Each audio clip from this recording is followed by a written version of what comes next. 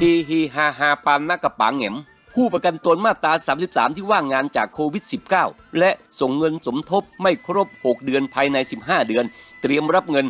15,000 บาท จากสำนักงานประกันสังคม ตามโครงการเราไม่ทิ้งกันของกระทรวงการคลังนะครับ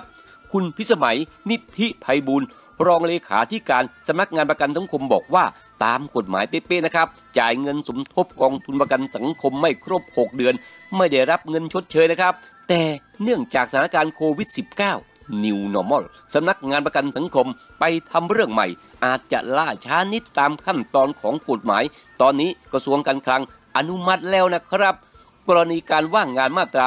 33 ที่จ่ายไม่ครบ 6 เดือนใน 15 เดือนนะครับ 59,000 ราย อดใจรอเดี๋ยวนะครับ ไม่ต้องเดินทางมากดดันที่สำนักงานประกันสังคมนะครับ ผ่านขั้นตอนการเบิกจ่ายเงินเมื่อไหร่ เงิน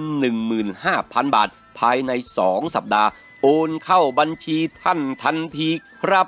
เตือนอย่าหลุดจากระบบประกันสังคมนะครับ ทีมงานที่ไม่รู้จักเหน็ดไม่รู้จักเหนื่อย เฮเฮฮาฮาปานหน้ากระปางแหงมนะครับ เจ้านาย ปูนปูน